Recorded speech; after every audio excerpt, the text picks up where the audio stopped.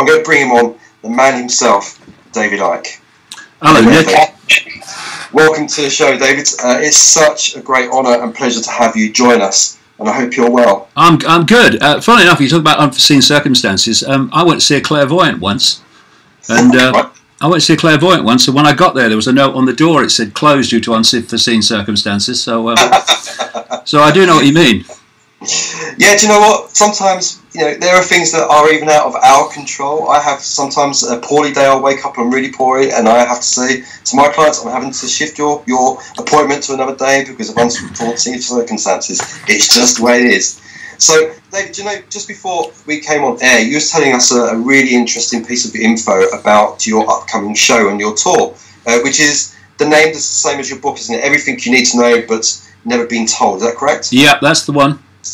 But It's the everything everything you need to know tour, yeah. And and by everything you need to know, I don't mean every last syllable and dotted I and cross T you need to know. I mean what people need to know to um, see the world from a completely uh, different angle. Because from that, everything else comes. Because we go through this uh, programming uh, system that we call uh, human life. Actually, goes through uh, from from the womb through the education system, the programming system. It goes through peer pressure, goes through the media. Um, it, it, goes through um, receiving the same minute perception of possibility all your life, and so that gives you a it gives you an angle at which to look at the world. Um, and it's a, it's such a narrow angle. It's it's almost what well, it is laughable. So um, what I'm doing in the books um, in, in, in great detail and what I'm doing in the talks with connecting dots is is is saying, hey, you can you actually can look at all this crap from another angle, and when you do, the very same things that you look at now look very different, especially when you connect them together. Absolutely, and do you know what I, what I noticed? I've, I've been reading this over the last couple of days, uh, about a week or so, and I find myself reading something and there's something that you mention in there which then leads me to go to the index to look something else up. So it's it's not for me personally it's not a book where i can read from back to front or front to back. It's one that i'm going to flick through and pick out bits because it's so intriguing and it leads from one thing to the next. So it does leave you with more questions um, and it leaves you with uh, an open mouth sometimes. I have to admit, it's, it's, like there was a time I was talking to my wife about it. I was like, "Really? Is that is that is that really?" Yeah, I've just opened a page and there's a title in there of Lord of the Rings. Yeah. So, you know, this is what this type of. I'm just talking to the listeners here. This is what this book. It's a, it's an amazing book, David. I have to congratulate you on this. Okay. Um, not only is it vast, the index is vast as well, um, but the information that you've put in there is it's just it's I want to say the word madness, but in a in a polite way, because it is there is some fantastic bits in there, really fantastic bits. Well, the thing is that, that you can you can read the book um, uh, with individual dots because um, yeah. you know I cover many many subjects, but but all, all all the dots connect. It's when you connect that you see the world differently. See the media, well, to an extent anyway, the mainstream media is telling people what is happening but it ain't telling them why it's happening. There's no context, and it's in the context that true understanding of what is happening um, is, is, there to be seen. And so um, you'll read a newspaper and you'll see a story on page three, you'll see a story on page seven, a story on page eight or nine, um, and they'll be about different subjects and they will be reported in and on of themselves in isolation. But you then connect those stories together through through the information that I, I put in the books and the talks, and suddenly um, they they look very different to the way they've been reported in isolation. And it's this context, this connection between things and people and events that um, that people really need to know because uh, one of the key things is um, knowing what the outcome is designed to be because there is a plan for the world that's been unfolding for uh, enormous amounts of what we call time. Orwell tapped into it, Aldous Huxley tapped into it. That's why they've been so incredibly accurate in, in, in the things that they were talking about and predicting. Um, and if um, if you uh, uh, can uh, uh, get deep enough into it, and I've been researching it now for nearly 30 years, to the point where you know what the outcome is designed to be, then daily events are what? They are the stepping stones to that outcome. And, and once you know where, where they want to go, you can see the process day by day by day of them going there. So something happens uh, and it's just a random event. Um, if you don't know the outcome. But if you know the outcome, the desired outcome, it's not a random event. It's another stepping stone towards it. Um, and uh, once once you get this in your in your in your mind, um, where they want to take us and why and how the techniques that are used of, of manipulating perception so that we will go with it, um, then the world becomes an open book like it never was before. Uh, yeah. Do, do, you know? Um, do you think then that um, when you mention like the media or t- TV programs, films, etc., do you think they are um, there are some programs and films out there that I've always believed that are giving us a message or warning or things to either that are coming or, or already are here. Um, or do you think they are, uh, in a way, telling us to be careful or um, this is how life's going to be, get used to it? Well, there's, there's, there's two, two, two, two ways to look at that, and both are true. Um, you will get um, people in the um, the movie industry, um, in the media industry, um, who do know some of what the game is and some of what the outcome is desired to be. To be. And they will seek to put that in front of people in a way that's not too overt, not not not that says like I do, this is what is planned, this is why this is happening, but but gives you a uh, a push to open your mind to the to, to possibilities. Because obviously when they're working in the mainstream like that they're constantly uh, aware of the fact that they if they cross certain lines then then that's their career finished. So that's one aspect of it. But the the great majority of the movies that come out of Hollywood um, and Hollywood is is a it's a cesspit. I've been writing this for years and years and years about the uh, pedophilia, child abuse, and satanic rings that control Hollywood. And thanks to the Weinstein story and and, and uh, others, we, we've we've seen a glimpse, and it is only a glimpse of that that um, that putrid world that uh, underpins Hollywood. And um, you see, the world that we're being taken into is so dramatically different to the one that we've experienced, especially people uh, uh, uh, uh, in my generation. I'm coming up to 66. I know I don't look it, Nick. You don't have to say it. Um, but um, um, when I was brought up into the in the 50s, for instance, as a kid, that uh, uh, the 1950s, the world was completely different to what it is now. That's given me a radar to see the, the scale of the change that's taken place. Um, and when you're being pushed into a, a, world that's dramatically different to that, even dramatically different increasingly through technology and AI to the one that younger people have been used to up to this point, then you've got a problem of resistance where people go, hold on a second, what is going on? Because the world is so different, you get uneasy with it. Why? I, I don't like this. What is happening? I, I, it's, it's, this is all incredible. Um, so what you're trying to do uh, through movies is um, something that goes under the name of preemptive programming. You are putting in front of people, not just in movies but in television too, um, a visual expression of the world you're taking people into. This is why these dystopian movies um, uh, with, with machines uh, ruling and, and robots and, and alien machines um, uh, they're coming out one after the other and have been year after year after year after year.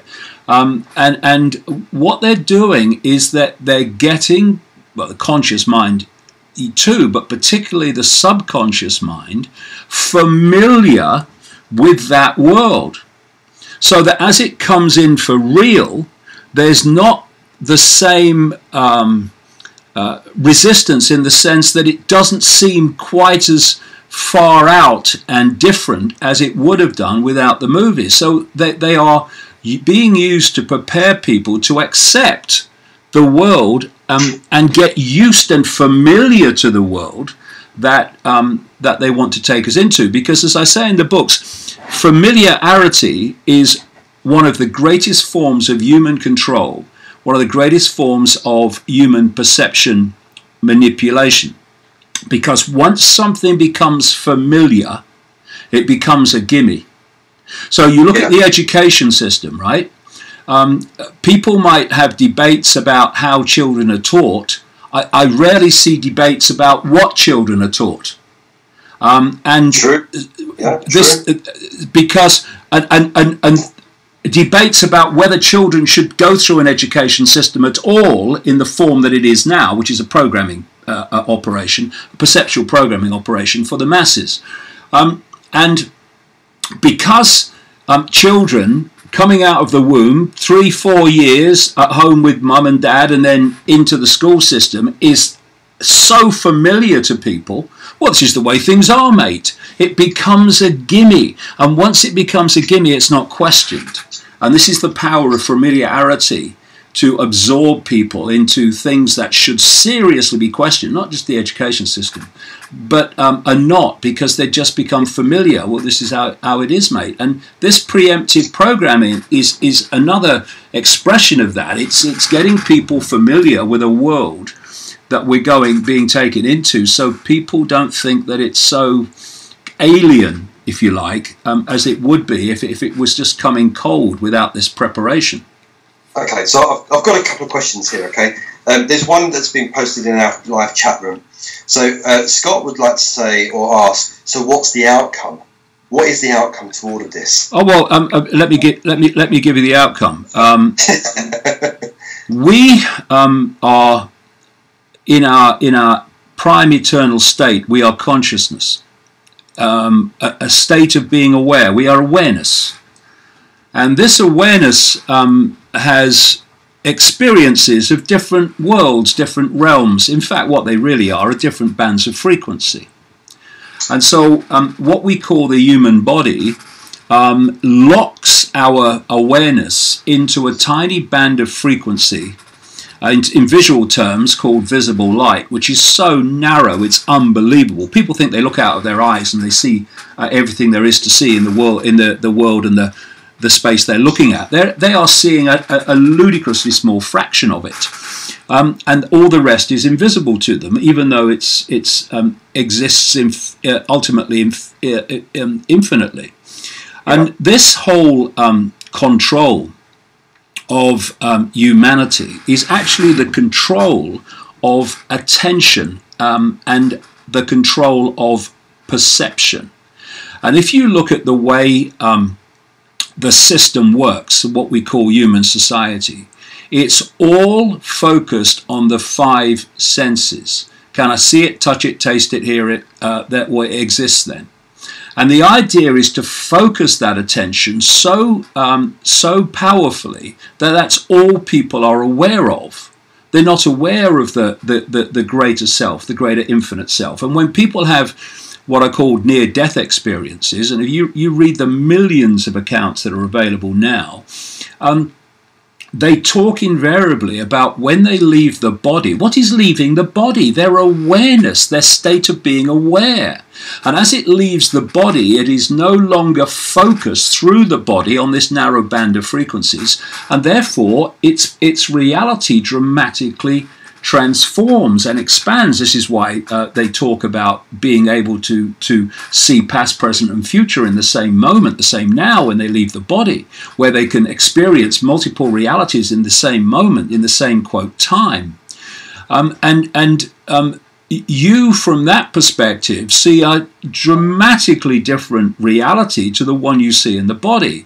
So, what the body has been become and has been manipulated to be is a trap for our awareness. So, we focus on a very narrow band of frequency.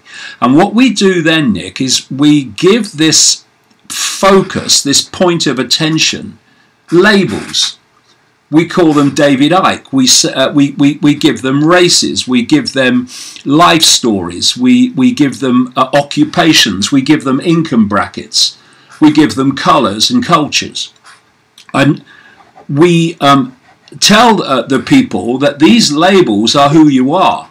when they're only what you are experiencing, not who you are. There's a massive difference between the two.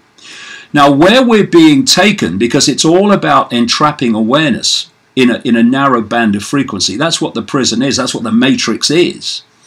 Um, we're being, up to this point, that has been done by programming perception from cradle to grave. You, you, you look at the um, a, a, human life uh, from, from cradle to grave, and the, the amount of um, information that it will receive um, that is outside the box is absolutely fractional. It's, it's a download, it's what I call the postage stamp consensus.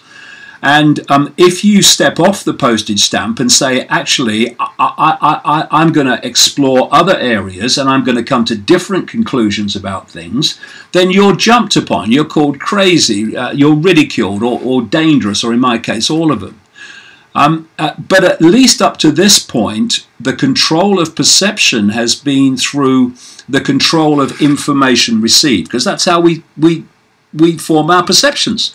Uh, it, it might be uh, information from experiences we have. It might be information we get from the nine o'clock news, but we form our perceptions from from our um, the information received, and our perceptions then dictate our life.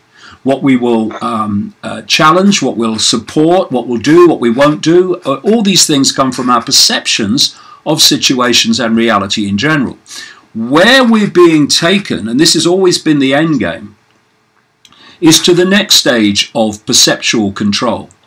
And that is to um, connect the human mind brain to artificial intelligence, which the Silicon Valley mad people, crazies in Silicon Valley, what I call in the book um, the devil's playground, very accurately, I assure you, um, they are um, now openly talking about this. And the point is that once you reach the point, this is where all the smartphones uh, that you hold and the tablets leading to, to technology on the body, leading to technology in the body, which is where this is all going quite blatantly now. Um, it's to uh, attach the human brain and the human perceptual processes to AI so that the um, human perception is no longer being manipulated by the control of information. AI becomes human perception. There is no need to program it and yeah. um, and um, give it a perceptual uh, uh, uh, um, way of looking at everything because AI is then that perceptual way of looking at, at everything. At that point, human human uh, awareness, human consciousness, human thought, human emotion, human perception is over. It's finished, kaput. And this is why, although they, they, they don't see the bigger picture, they only see one level of it. Um, this is why people like Stephen Hawking and, and other scientists have said, you know, this AI could be the end of humanity if we go down this road. Well, the next stage of understanding is that's the idea, and it's been the idea all along. And that's what this whole transhumanist uh, madhouse is all about. So I've always believed back in the what mid mid nineties. Uh, you're talking about um, a bit of mind control here, I suppose, because to me the games console uh, craze went mad. They're, they're, they're, focusing on the younger people um, and they feed them information through the games console, be it violence or whatever it is they're doing. Um, but then they've, they've hyped it up, and we now have this VR, so you can put your phone on whatever it is. I don't understand it all myself, but you, phone, you put these goggles on these phones. Do you think it's all the same pattern? So well, it, it, it, yeah, yes, it's all the same pattern because um, you see, let's just look at it. Uh, let's go back to what I said earlier. Yeah. When, when you know the desired outcome, you can see you can see the steps, what I call the totalitarian tiptoe towards that outcome. Uh, that. Right. Yeah. So so let's look at the outcome here um, in this uh, sense. Um, the outcome is to connect the human uh, mind and perceptual processes to AI, so AI becomes those processes. And what we're seeing, therefore, is, uh, and, and I, I, this is the word I use in the book, an assimilation of humanity into AI, into AI control and into AI perception. And this is the reason, uh, um, just to give one example, that we have, well, I don't, uh, but, but so many people now have, um, these office assistants produced by Amazon and Apple and all these things. I mean, you know, the um, the office assistant Siri, for instance. I think Apple uh, bring that one out, but the, the, the the technology they're all based on was seed funded by um, DARPA, the technological development arm of the Pentagon, which is the true owner of Silicon Valley. Um, and so um, when you uh, start now having people interacting, having conversations with um, AI, oh, you know, play me a record, do this, what am I doing today? This is all about um, uh, this assimilation, not just literal assimilation, but perceptual uh, assimilation of the human mind into um, AI. And uh, wherever you look, AI is taking over. You, you, you, you, people sit in their car and they've got AI telling them where to go on the sat nav.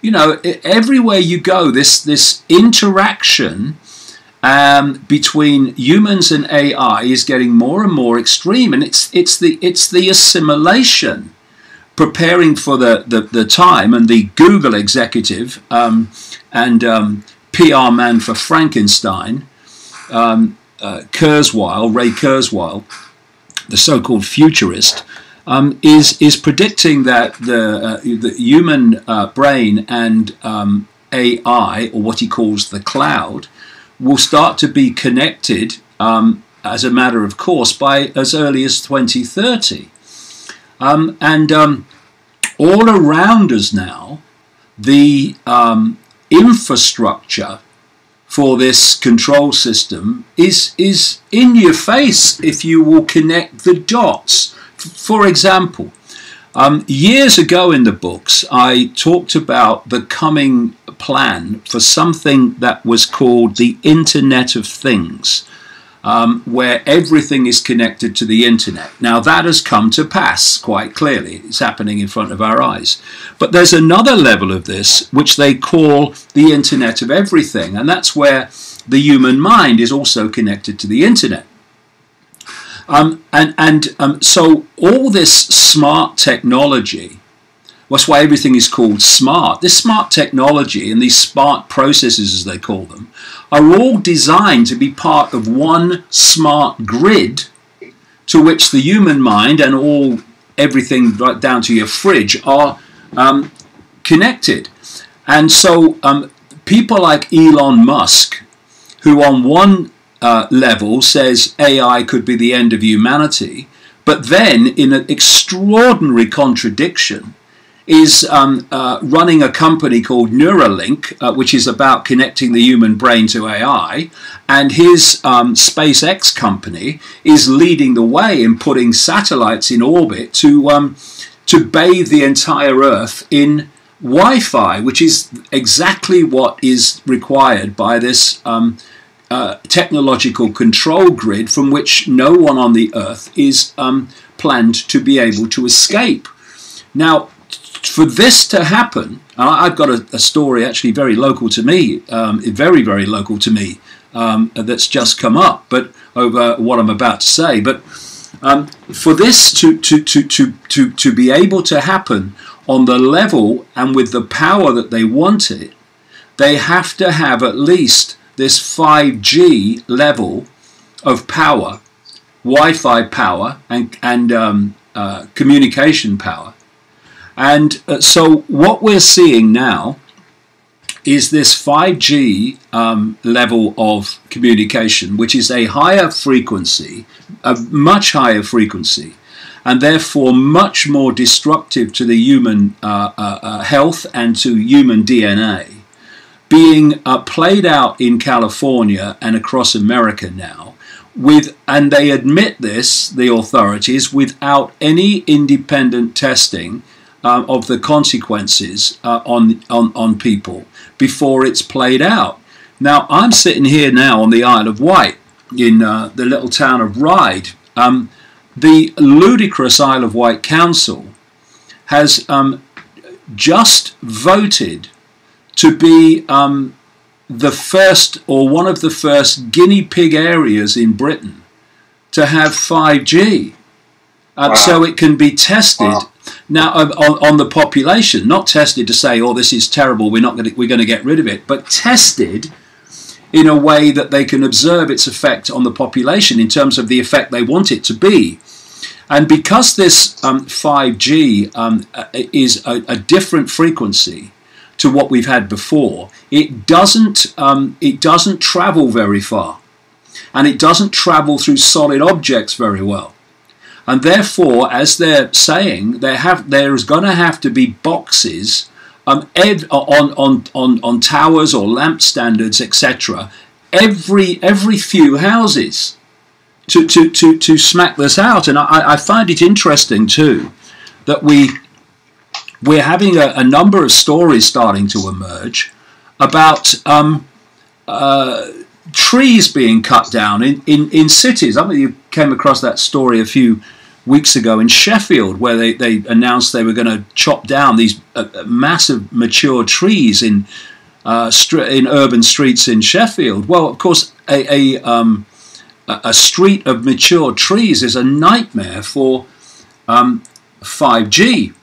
And the reason that they are um, doing this on the Isle of Wight, or planning to, we're going to do all we can to to uh, to to highlight it to people so it can be stopped, is because they like islands when they are observing the effect on a target population. It's part of their um, their studies, if you like, because we're laboratory yeah. rats to them because yep. island populations tend to be more stable. They don't come and go as much. And so they are much uh, better for observing the population and seeing its effect over a period. Um, so it all fits why they want to do it on the Isle of Wight. Um, so, um, you know, where, where do they want to take us? Where, where they are taking us, unless we wake up to it, taking us to a point where there is no human, that that human thinking and, and people like Kurzweil are saying this and and, and that, that, that the, their sales pitch is by being connected to AI we will become superhuman. We won't. We'll become subhuman. That's the idea. We'll become just computer terminals on on this um, technological um, uh, uh, internet and and uh, smart um, grid and web. Um, and uh, so what we're seeing is is it happening. And you know you can see the entrapment, Nick. First of all, you get people, um, especially the young, because they're going to be the adults when this really plays out. That's why the young are being so targeted. Um, yeah. First of all, you get them addicted to technology they hold, well achieved. Then you then you get them um, uh, then you get them to accept um, uh, technology on the body the Google Glass, the, the, the Bluetooth, the, uh, the, the Apple Watch, etc., and these patches they have on the skin now. And then you move them, and it's already happening, you move them to um, technology in the body, and that's that's the, the frontier that they've been aiming to uh, to achieve all along. And once that happens, and AI starts to do human thinking, well, there will be no longer any uh, human thinking. Well, one of the questions we've been posting in the, in the chat room is that um, is exactly about what you're talking about um, technology in the body or on the body. Um, and it says here um, everyone will have, you know, when will everybody have computer nanobots in the body um, so we can walk and talk about without having a handheld device? And how, how far away or how soon do you think this will be taking place? I think that's something that you, are already talking about. So. Well, very, very, very, well, very quickly, and there's another there's another aspect of this you see, which I go into in the book in, in some detail. Um, you know, pe- people talk about microchips and microchipping the population. I've been writing and talking about this for, for nearly 30 years, uh, uh, almost now. Um, uh, long before um, it, it, it, became reality, and people say, microchips, that's crazy, man. Well, it ain't, is it? I mean, when you look at it now, is it? No, well, actually, it's not. No, no, exactly. Um, but but microchips, what microchips? See, we um, we perceive microchips as as these um, rice-size chips that go under the skin, and they do exist, and they are being used. I was in um, talking in Sweden last year, and uh, a guy came to the talk. Why he came to the talk, I don't know. And he said to me afterwards, "I've been chipped." I thought, "You've what?" And, and, and he's, he, they're chipping people in um, in Sweden, and they're having parties to, to, to, to celebrate the fact that somebody new's been chipped. This is the madness of it. Um, and I, I, said to I said to the guy, "What are you coming to a talk of mine for? If you if you if you if you're going to be chipped." Anyway, um, where I'm going with this is that's one level of it. the real control, chipping control, is actually nanotechnology. Um, and um, it's what uh, goes under various names, neural dust, and, and, and the, one of the ones that's most used now, appropriately, is smart dust. And you actually breathe that in. And uh, this smart dust, and I'm quoting um, the, uh, the, the manufacturer's own um, promotions here, this smart dust um, in the body has the ability to communicate to all other smart um, uh, devices and smart technology and smart chips to the point where um, the lift can open um, uh, uh, and you walk in uh, going to work and and the lift will um, read your uh, chip and know who you are your your uh, nano chips and know who you are and will open the the uh, the lift at the right floor. When you get to the desk, your computer will be turned on because it turned on the moment you walked in the building because it picked you up and realized you were coming to work. Um, and these are these um, um, AI controlled smart cities that they are now not only talking about but beginning to build. Um, and uh, Kurzweil um, says that um, the time is coming when this smart dust will infuse all matter. It will infuse all the, the natural world. It, it will be everywhere. It will infuse the trees, plants, the soil, everything. Um, and so you then ask, well, how on earth are they going to do that? Well, the only way they can do that is from the sky. And that's what is coming down in chemtrails, among many other things. Nanotechnology. Um, and, and this stuff's being found by researchers now in, in the so called natural environment. So, you see, th- this is the thing. What, what, what we are um, presented with is a vast number of diversions so that we're looking uh, over there when it's happening, the real stuff is happening here. So if you take the example of America, you've now, because of the uh, the bringing to power of Trump, and and and I I would absolutely say that was that was planned. Uh, you've got this um, uh, polarity between pro and anti-Trumps, and that's the focus. You've got the so-called progressive mentality, if only it was, um, uh, opposing Trump, and you've got the Trump uh, uh, supporters opposing them, and that's the focus. What's Trump doing? What's he tweeted? And then over on the other side of America in Silicon Valley, or through Silicon Valley, um, controlled from the Pentagon and other places, um, is this um, this technologically controlled AI reality unfolding by the day, largely compared with uh, what's Trump um, tweeted today, largely ignored and under the radar. And that's what I'm trying to put right.